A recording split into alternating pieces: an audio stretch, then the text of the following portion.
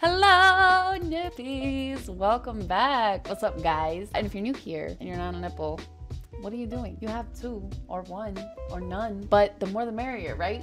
So, welcome. Today we are going to be working on some more Patreon postcards. Woo! For those of you that don't know, I do have a comic called OFFcell. It is free to read. It's 18 plus, so please police yourself while reading. Make sure that you're just not walking in blind, you know what I'm saying? But it is free to read. It's on Tapastic, Webtoons, censored because there's some scenes that are pretty explicit, and uh, on offcellcomic.com, uncensored because that's the main webpage. I do have a Patreon, patreon.com slash offcell, where you guys support the comic, not just the comic, but me as well. So thank you guys so much for putting a roof over my head, supporting my passion, supporting my art. And there I have a tier that gets a custom postcard made and sent to them monthly. You guys get to pick the characters, of course, that you like. You can change them every month, whatever you want. That's what these are. And so with this video though, you will see that I only did one of them because I got really tilted on stream. And you guys will see that I'm I'm I'm excited to show you this, not because I think it's good, but because it's a very real process. You know, I got really tilted. It took me like an hour and a half to draw one face. Like I went through all sorts of roller coaster emotions creating this, and then I ended up creating this one off stream. So unfortunately, I do not have the video content for this one, but I will show you the content for this one nonetheless. The theme for these was screen tones. It's the first time I ever used screen tones. My dear friend I, thank you so much for giving me the screen tones. She had them lying around and I've always wanted to try them. So I did it on deleter paper. I fucking went ahead and uh, used the screen tones. I used a G pen, everything. Like I want to do the whole fucking shebang. And so that's what this process is about. I try to pick little themes to go with each set of postcards so that they like each time, each month that I do them, they feel unified, like part of a set, so that even when the individual parties have their own postcards, they feel like they belong still together. So that's pretty much what is going on with these. But yeah, let's let me stop rambling and get into the video, guys. Hopefully you enjoy. Hello guys, welcome to the speed paint. So I'm gonna start off by going over all the materials that I used for this uh, postcard. I did do a little bit something different for these, so I kind of want to go over what I used. I wanted to go for this kind of like authentic manga feel, and I have a lot of the mangaka supplies with me. I have my deleter paper, which can draw the manga pages on. I have my screen tones, which were a gift from a friend, which I had never messed with before until these postcards, and you'll see how hectic that turns out to be. I have some of my inks here, my India inks. I have uh, my pen tip cleaner. I have my G Pen nibs that I attach to my pens. That's pretty much the materials that we are working from.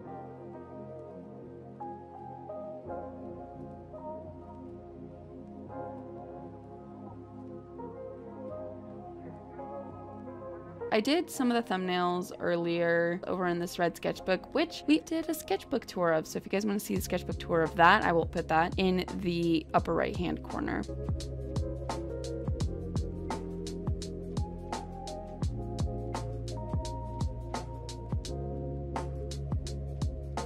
the theme was kind of like them in suits, like Pim and Enzo in suits. And I thought it was going to be extremely easy, but for some reason, I really I could not draw his face angle. Guys, like, I could not. When I tell you that I could not do it, I could not do it. I spent an hour and a half trying to get his face angle correct. And you'll see here that I just go over and over, re restart, redraw, erase, restart, redraw. And eventually I got so tilted on stream. I ended up just kind of like taking a picture of myself and uh, doodling it in a sketchbook to kind of practice to get away from this drawing. And for the poses, I actually thought Enzo's was a lot e uh, a lot harder, which ironically was easier than this because as you can see, I've already redrawn and restarted this face more than 10 times.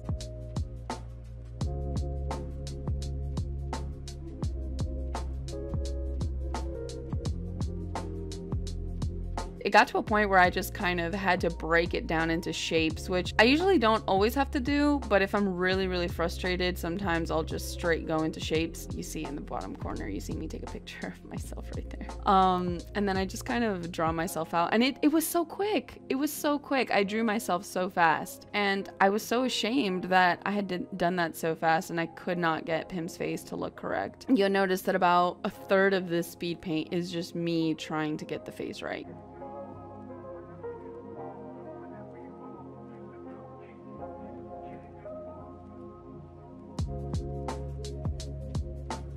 I get like an interesting angle here. I use the light box to kind of map out the face and just try to bring it over to a scrap paper because I get to the point where the paper is being messed up by how many times I'm erasing and drawing, erasing and drawing, erasing and drawing. So I just bring it over to a normal paper and just transfer it over after I've had um, my free time on the scrap paper. I'm not entirely happy with how it came out, but I think at this point it was just like a compromise. like, bitch, you spent two hours drawing a face. Like, this, you know, maybe stop. maybe fucking retire, you know?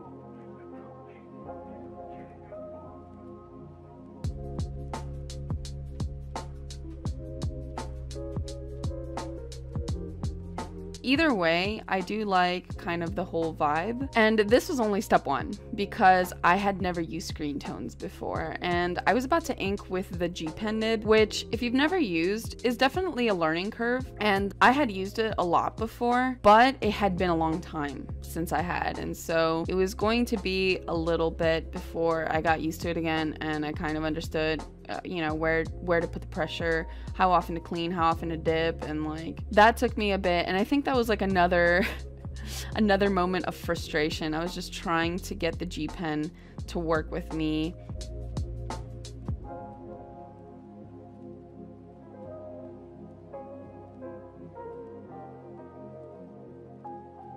I think this whole postcard was a bundle of frustration in almost every single step every single step of the way it was something you know? The the undersketch the pencils the inks the freaking screen tones everything was just a giant mess. And so if you guys caught that there on his collar, that's um, GB's logo because GB's very nice and uh, super generous, very sweet. And she has one of the postcard tiers over on Patreon. So she always asks for this character. And so I decided to just kind of uh, squeeze in her logo there on his on his collar.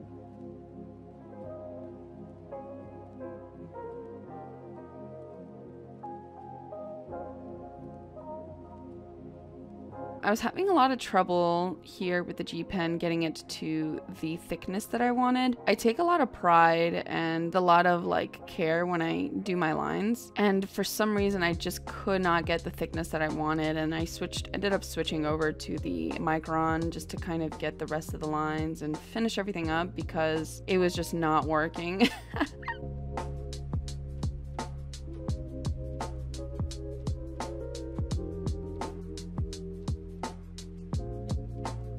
I switch over to the brush here to kind of get some organic lines and I wing them, which I probably shouldn't have done. I really should not have winged those lines because they just did not look as flowy as I wanted them to. I did not plan the trajectory. It's like, oh, fuck it, it'll come out great. And then it didn't.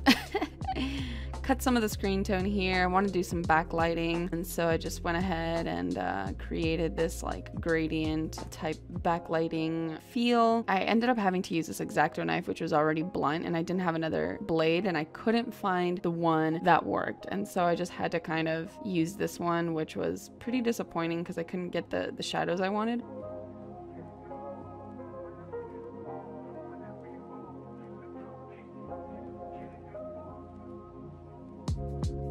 I tried to use the same screen tone that I did for him on the smoke and it just it made the drawing look so flat and so eventually eventually I just took it off and went with another screen tone. I tried to go with something lighter, more different, just to add a little variety there. And I did like this one a lot better. Not that it made like a super huge difference, but it definitely added that nice variety that I liked.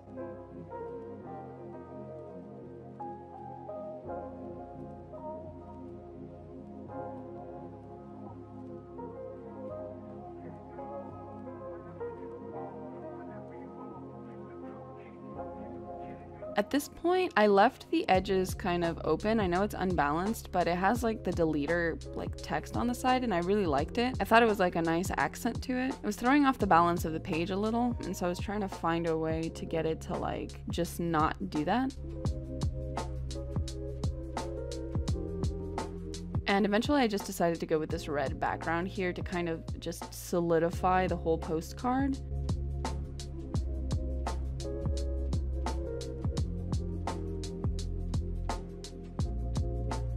Other one that I finished as well, I ended up doing it off stream, and that postcard actually came out much better, in my opinion. I did it much faster as well. I got kind of used to the process. I was a little less tilted. It's very rare that I have to turn off a stream because I'm tilted. It's very easy for me to get tilted, and more than likely, I'll push through. You guys have helped me on stream to kind of just stay on there, push through. It was really fun. I really enjoyed the theme of these. I do want to mess with the screen tones a little bit more, with the inking style more as well. It was just a fun set of postcards, and um, yeah, hopefully this wasn't too much of a mess.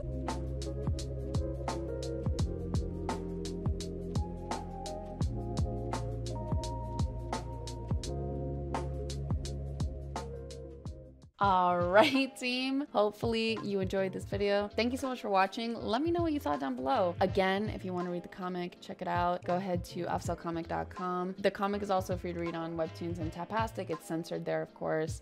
Lots of um, explicit scenes, so can't post it there. And thank you, deep, deep thank you to everyone on Patreon who supports me, the comic, my art creation, and my art journey. I really do appreciate it. You put not only a roof over my head, but you allow the creation of this comic and art in general to be possible. So thank you so much to everyone over there. Hopefully you enjoyed that and I will see you guys next video.